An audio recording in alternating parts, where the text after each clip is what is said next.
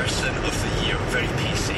We're teaming up with Tastelike Contracts, and you can vote for dinner person of the year by going to the website. It's tfm.co.uk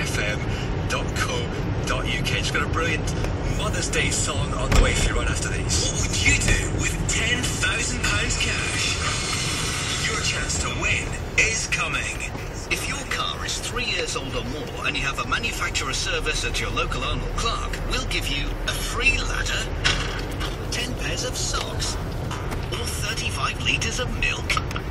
In fact, if you get your car serviced at Arnold Clark, we'll give you a £20 gift card for either Tesco, B&Q or Marks & Spencer.